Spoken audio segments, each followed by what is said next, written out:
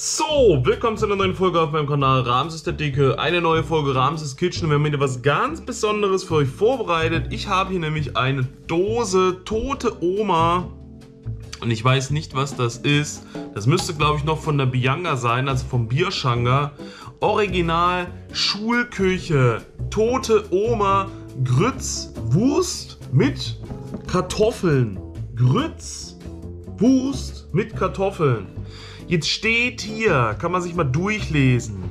Original Schulküche, tradi traditionelle Rezepte neu belebt. Das Konzept hinter unseren Original Schulküche Produkten ist denkbar einfach. Mit unseren traditionellen Gerichten, die alle nach Originalrezepten zubereitet werden, möchten wir sie zurück in die Kindheit entführen.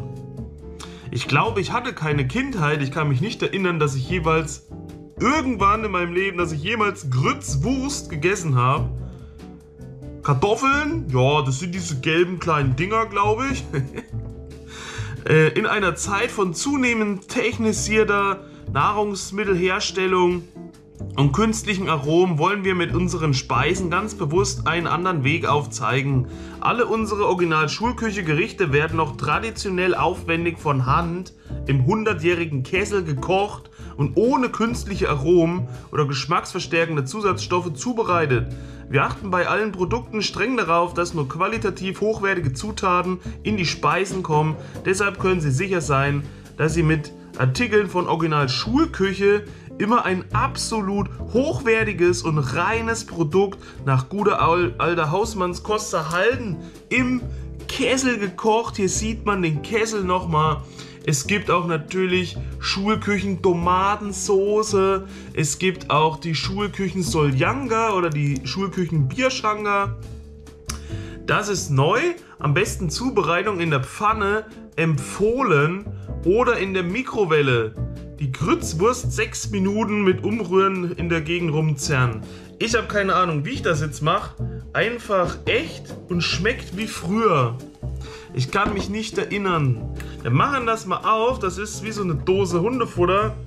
Hier mit so einem Bibus dran, den du dann aufziehst.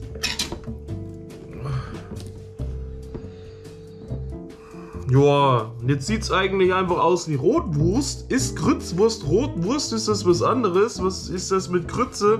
Ich dachte, da kommt mir jetzt irgendwas Gelee-artiges entgegen.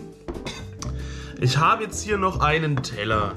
Wir können ja mal ein bisschen was hier rausmachen von dieser Grützwurst. Wenn wir einmal hier so durchgehen und das dann hier abheben, sehen wir hier Grützwurst. Und das sind keine Fettaugen, das sind Kartoffeln. Jetzt schmeißen wir das mal hier auf den Teller drauf, ungefähr so. So.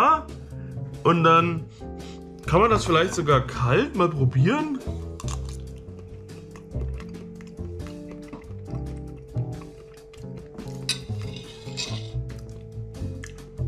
Schmeckt ein wenig sandig.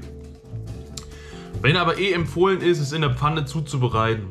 Kurz ohne Butter in der Pfanne anbraten und erhitzen. Ich glaube, ich werde das jetzt wirklich in der Pfanne mal anbraten. Und dann werde ich vielleicht ein bisschen äh, Senf mit dran machen oder so. Aber erstmal muss ich diesen ganzen Inhalt in eine Pfanne werfen. So, da ist der Adi. Hier ist die leere Dose Grützwurst. Guckt euch das mal an. Sieht das nicht herrlich aus? Da kriegst du direkt Appetit, oder? Die ist jetzt hier in der Pfanne drin. Das sieht auch herrlich aus, glaube ich. In der Pfanne. Die Pfanne wird jetzt erhitzt.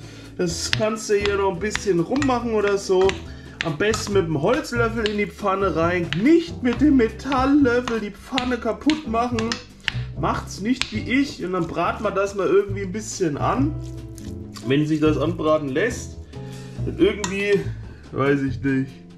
Sieht sehr speziell aus. Habt ihr auch schon mal Grützwurst gegessen? Dann schreibt es mal in die Kommentare. Erst das Borscht, jetzt die Grützwurst. Aber ich glaube, Senf regelt den Geschmack und dann kann man irgendwie alles essen. Das sieht halt echt richtig merkwürdig aus. Wirklich, wie wenn ihr jetzt hier draußen rumrennt und im Matsch irgendwie spielen geht und da drin rumknurrt. Also äh. Also wer isst sowas jeden Tag? Gibt es jemanden, dessen Lieblingsgericht das ist, ja?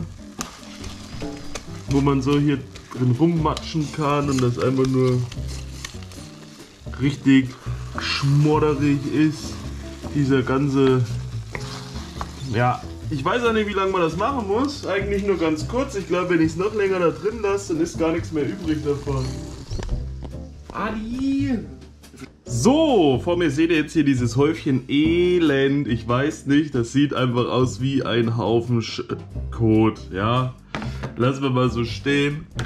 Euch stellen wir jetzt auch wieder hin und zwar hier vor. Jetzt muss ich meinen Stab wieder dran machen.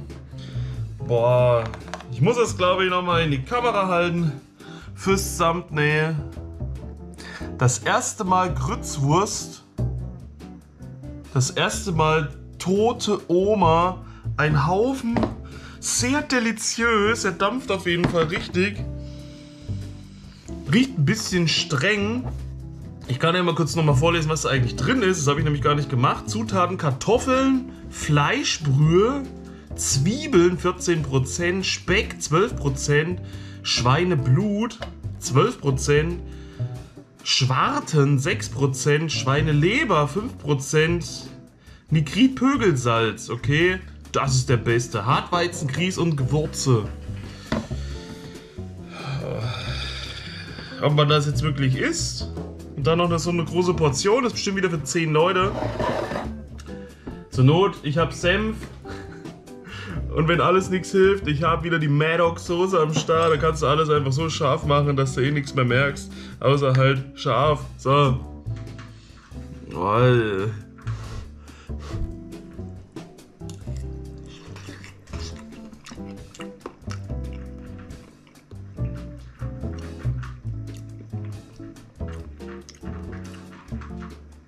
Eine sehr weiche, breiige Konsistenz.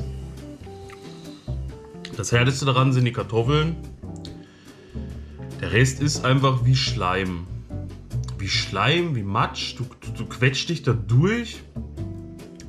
Ich muss sagen, geschmacklich ist es besser, als wie es riecht, weil geschmacklich merke ich eigentlich so gut wie gar nichts. Während der Geruch doch ein bisschen muffig und streng ist, ist es geschmacklich eigentlich ganz gemütlich unterwegs. Wir wollen jetzt mal ein Stück probieren mit Senf, damit wir da noch eine schöne würzige Note dabei haben. Der Senf ist eh bald leer, das heißt, ich kann jetzt auch mal schön gemütlich rein in den Becher, mir hier ein bisschen Senf drauf machen und dann vom Teller etwas äh, Oma holen und das dann kombiniert zusammen essen.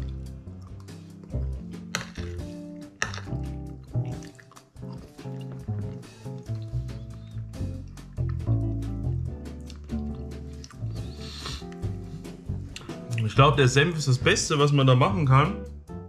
Schmeckt auf jeden Fall so viel besser. Ich werde mir jetzt wohl auch den restlichen Senf einfach alles komplett hier drauf machen.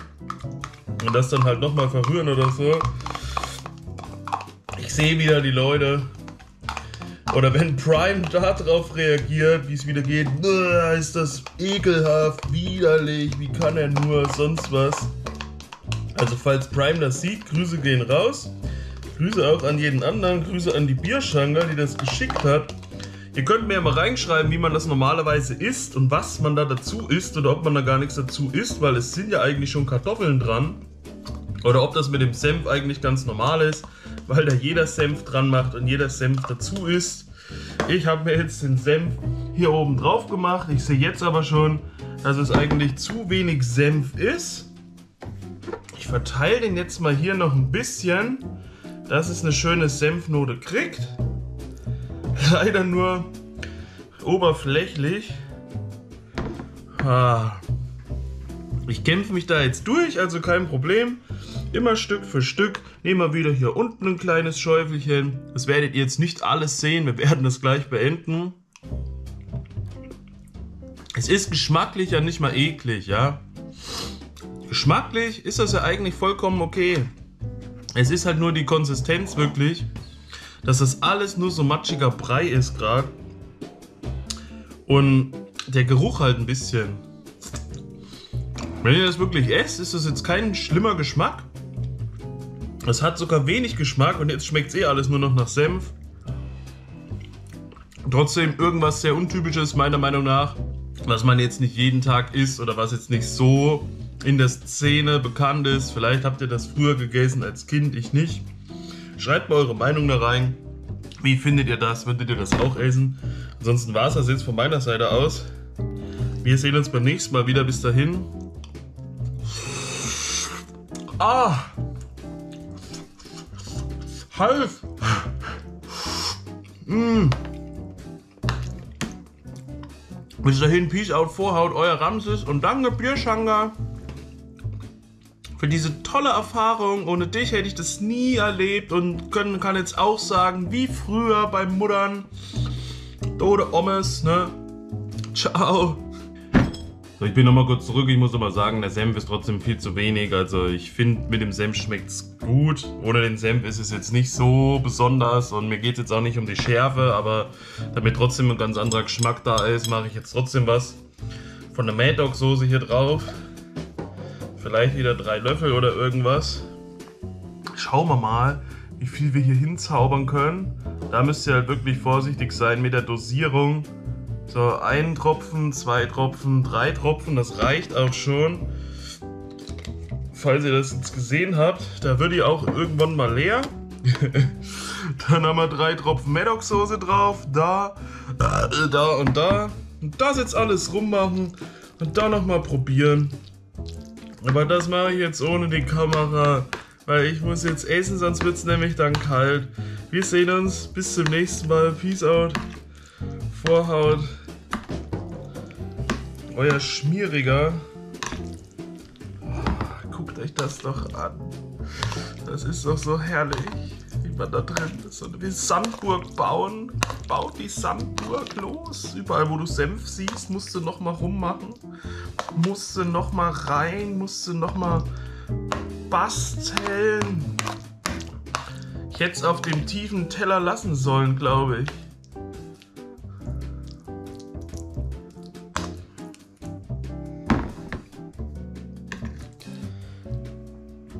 Ja, komm, egal, wir probieren jetzt trotzdem mal eine Fuhre hier mit Maddox-Soße drauf.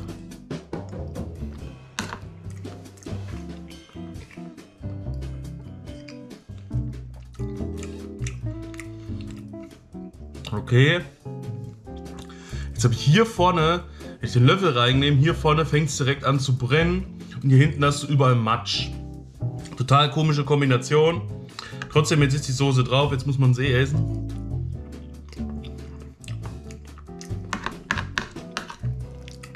Wow. Ja, das kommt schon gut nach einer Zeit. Das war es jetzt von meiner Seite aus. Wir sehen uns beim nächsten Mal. Bis dahin, Peace out. Vorhaut. Euer matschfressender Ramses.